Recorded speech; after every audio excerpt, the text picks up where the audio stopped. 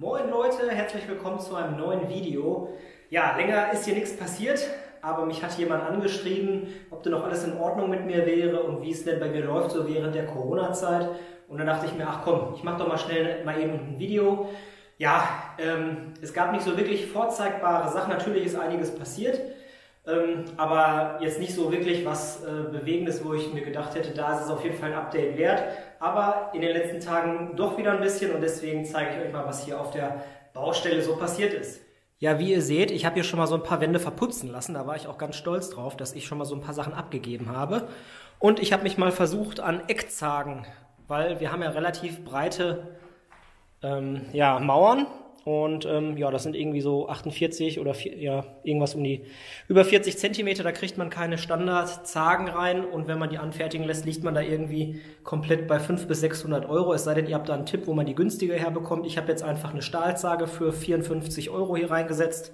Da kommt dann eine Standardtür rein für 25 Euro und dann ist die Sache für mich erledigt, wenn das hier ordentlich eingeputzt ist. Ja, gehen wir mal weiter. Ja, Trockenbauwände. Ich habe hier die, die Küche, die war sehr groß, die habe ich unterteilt.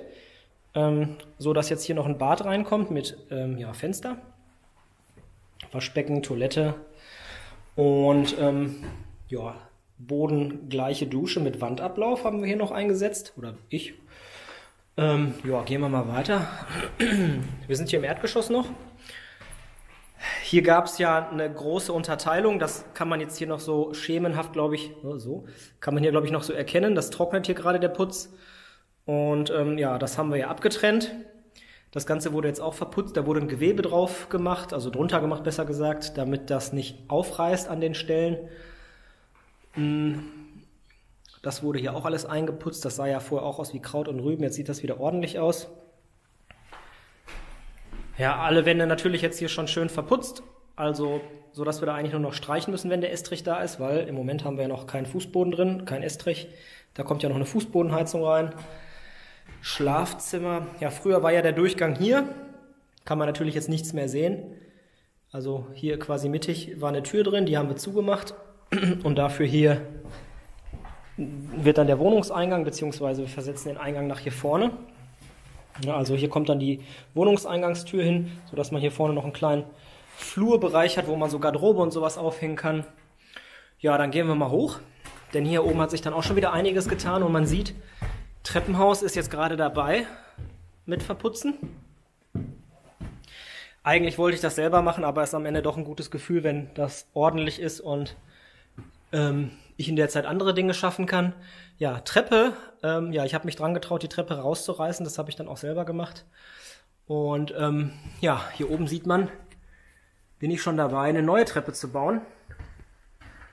Da sind schon die Wangen, Treppenwangen sind schon drin. Ich habe hier Stahlträger eingezogen. Die sind da schön in der Wand drin. Oben genau das gleiche Spielchen.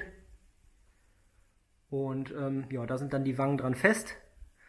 Und dann kommen dann die einzelnen Stufen dran. Da unten habe ich schon mal so, naja, man kann es jetzt ganz schwer erkennen, glaube ich, aber einen so einen Träger aufgesetzt. Da kommen dann die Stufen drauf, um dann nach oben zu kommen. Ja, für die Baustellenzeit habe ich mir die alten Stufen noch aufgehoben. Die nehmen wir dann für die Übergangszeit, damit da nichts kaputt geht. Ja, dann gehen wir mal weiter in die zweite Wohnung. Hier haben wir dann schön mit F90 eine Wohnungsabtrennung gemacht. Also F90 hier Brandschutz haben wir dann hier mit den blauen Platten von Knauf doppelt beplankt von beiden Seiten. Das war eben erforderlich. Dann, ja, die Türen im Altbau sind natürlich entsprechend hoch und breit, wurden dann natürlich auch auf Standardmaß ja, verkleinert, dass wir dann ordentliche Türen einbauen können. Hier vorne sieht man noch den vorherigen Zustand. Hier haben wir das Ganze erstmal vorbereitet. Dann kommt da Gewebe drauf, wird das dann zuge, äh, ja, überputzt am Ende alles nochmal. Die Räume sind ja auch schon entsprechend alle schön verputzt. Klimaanlage hatte ich glaube ich beim letzten Mal schon gezeigt, haben wir im mittleren und im Dachgeschoss eingebaut. Ja, so sieht dann das Gewebe aus, das kommt dann da rein, damit das nicht reißt.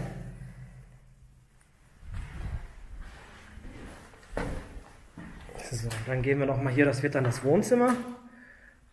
Auch alles schön verputzt mit Klimaanlage auch. Die wird dann das hier im Sommer schön kühl halten.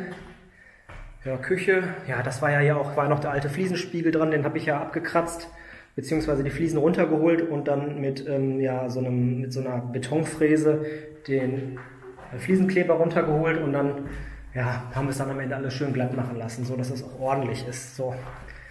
Dann fehlt noch das Bad. Ja, da hatte ich, ich weiß nicht, ob ich schon mal gezeigt hatte, ich habe ja so eine, so eine Zwischenwand hier eingesetzt, die habe ich so aus so einer Stahlkonstruktion gebaut. Die ist dann unten im Boden verschraubt, wo dann die Wasserleitungen drin verlaufen und auch Abfluss und so weiter. Ja, finde ich einfach ein bisschen angenehmer, wenn man reinkommt und nicht sofort aufs Klo starrt, wenn da einer drauf sitzt oder so. Oder ja, man selber drauf sitzt und jemand aus Versehen reinkommt, ist es doch ein bisschen angenehmer. Ja, dann habe ich auch direkt hier Ablagen gebaut dass man den Platz, also unten drin laufen ähm, ja die Rohre und ähm, so kann man das dann auch nutzen, sinnvoll für Handtücher und für Klopapier und solche Sachen, die kann man dann da ablegen. Ja, dann kommt dann hier, hier die Badewanne so hin in den Bereich und ähm, ja, die Dusche wird dann hier hingemacht. Auch mit einem Wandablauf, der kommt dann noch dahin. Oh ja, wenn hier eine kurze Unterbrechung, weil ich habe gerade einen Anruf bekommen. Nicht wundern. Ähm, ja, Fußbodenheizung auf jeder Etage. Und der Teil, worauf ich schon fast wieder ein bisschen stolz bin. Gehen wir mal hoch. Ich hatte nämlich noch nie eine so sichere und seriöse Baustelle wie jetzt.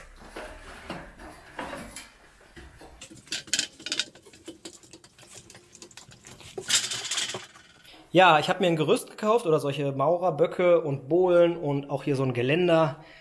Also ja, das hatte ich noch nie gehabt, aber wenn man nicht alleine arbeitet und Leute zu Hilfe heranzieht, dann muss man halt sowas auch mal machen. Und dementsprechend habe ich jetzt hier endlich mal ein Gerüst und dann können wir auch hier vernünftig das Treppenhaus, weil das ist natürlich hier schon eine gewisse Höhe. Ähm, ja, wurde das hier heute auch alles schön verputzt, so dass das hier auch ordentlich wird und bis in die letzte Ecke.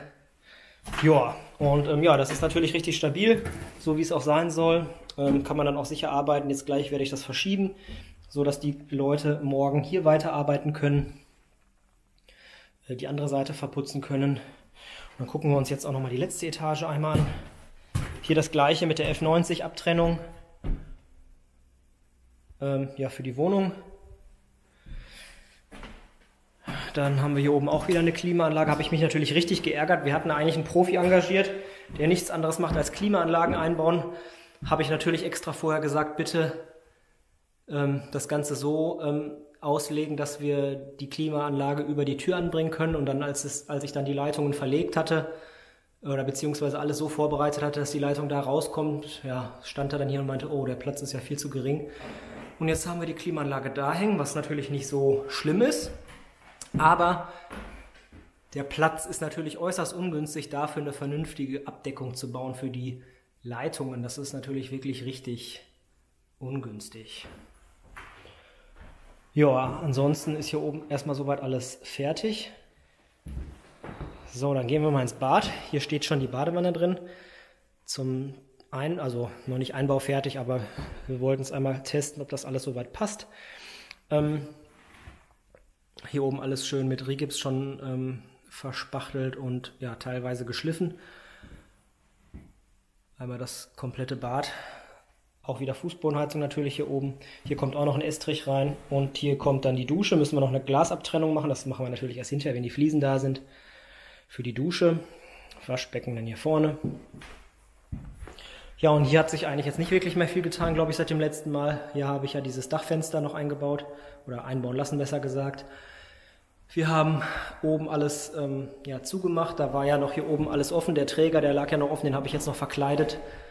Und ja, mit Regipsplatten oder ähm, ja, Gipskarton beplankt und hier oben das gleiche. Das war ja oben auch noch letztes Mal alles offen. Die Fensterleibungen noch gemacht. Und jetzt kann sich das hier oben schon sehen lassen. Und der Ausblick ist eigentlich auch ganz gut. Wir haben hier natürlich einen großen Garten. Da müssen wir uns noch überlegen, wie wir das mit der Garten, Gartennutzung machen und ob überhaupt. Ja, aber das war es dann auf jeden Fall schon mit der Baustelle jetzt aktuell.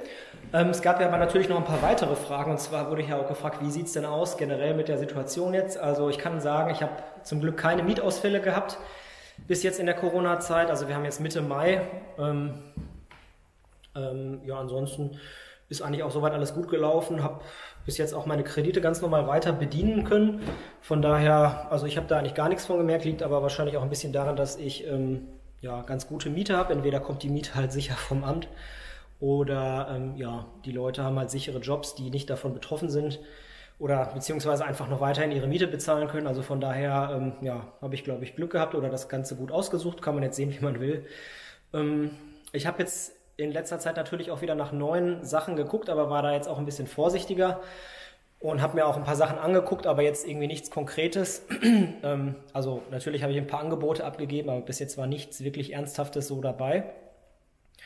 Ähm, ja, ansonsten will ich jetzt erstmal auf jeden Fall die Baustelle hier, weil das ja eigentlich jetzt wirklich gut voranging, ähm, ja, fertigstellen, damit ich den Kopf da auch frei habe, weil das ganze Haus gehört ja hier eigentlich meiner Frau und ich habe sie eigentlich dazu überredet, das Ganze hier zu machen. Und ähm, ja, deswegen ist das jetzt wichtig, dass wir das jetzt hier erst fertig machen und dann erst weitermachen mit neuen Dingen, auch damit da wieder ein bisschen Geld reinkommt. Weil momentan kostet das Haus hier irgendwie ähm, jeden Monat 700, 800 Euro an äh, Tilgung und äh, ja, Zins und Tilgung oder beziehungsweise Annu Annuität. Ja, die laufenden Kosten, die ähm, ne, Nebenkosten, die ganz normal laufen und ähm, ja, Mieteinnahmen sind natürlich noch nicht da und Daraus wollen wir natürlich aus diesem Negativ wollen wir dann ins Positive überschwenken. Meine Frau ist jetzt auch gerade noch in Elternzeit, das heißt, da kommt dann so gesehen auch nicht so viel Geld rein. Ähm, ja, und deswegen wäre das dann eigentlich mal ganz cool, wenn wir das hier endlich fertig haben und dann erst wieder weitere Projekte in Angriff nehmen. Ja, aktuell hat sich eigentlich nichts daran geändert. Ich vermiete jetzt ja weiterhin vier Wohnungen, ein Dreifamilienhaus und eine einzelne Wohnung. Momentan bin ich da bei 730 Euro Cashflow, also quasi Abzug, abzüglich, also Mieteinnahmen, Netto-Kaltmiete, abzüglich aller Kosten, die ich habe, bleiben dann monatlich 730 Euro über für mich im Moment. Und ähm, ja, klar, die muss ich versteuern.